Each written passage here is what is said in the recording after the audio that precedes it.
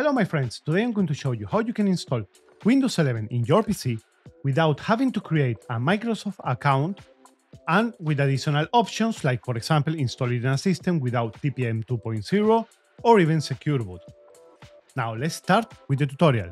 For the first step you want to open your web browser and inside of here I'm going to let all the links in the description down below you want to download Rufus the version 3.19 why this version? Because in this version is where you have, as I said before, the Secure Boot and TPM 2.0 bypass. You also have an option to skip all collection questions and also allows you to bypass the requirement to have a Microsoft account on the device. But for this, you will have to disconnect your system for the internet in the moment of the installation. Now, when you install Windows with this, you're going to have a complete official Windows 11 operating system installed in your PC or it's not going to be activated. If you need to activate it and you are looking for a cheap key, go and check out the sponsor of today's video. Keysfan. On keysfan.com, you can find cheap OEM license keys for Windows 10 and 11, Microsoft Office and even games. By clicking on the link in the description, you will get an additional discount up to 62%. Stop paying an absurd amount of money for your keys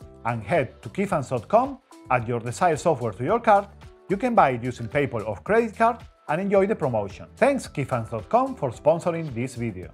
Now, when you're in the website of Rufus, you want to download the 3.19.exe that you can see right here. Now you want to go to download the official ISO from Microsoft itself. For that, you want to scroll down where you see Download Windows 11 Disk Image ISO. In here, select Windows 11 Multi Edition, click into Download. Now you're going to have to select the product language select the product language that you prefer. For me, it's English. You want to click into confirm. Now, this link is only going to be valid for 24 hours. You want to click right here, 64-bit download, and download the ISO from Windows. Now, when you have everything downloaded, you want to open Rufus 3.19. Now you're going to need your USB flash drive to create the installation bootable device. I let you guys some recommendation links in the description down below.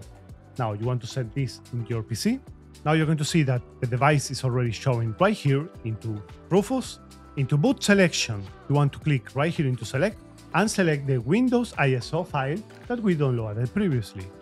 Click into open, into image option, leave it like it is, partition scheme and target system, leave it as it is. Now you can click into start and right here you can select to remove the requirements for secure boot and TPM 2.0, the requirements for the RAM and also to disable the data collection.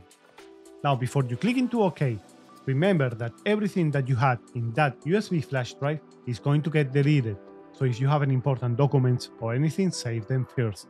And now you want to click into OK. Click into OK once more after the warning, and this is going to create that installation boot drive in the flash drive that you decided. When you have everything ready and your USB flash drive is done, you can plug it in into the PC where you want to install it and make the installation normally.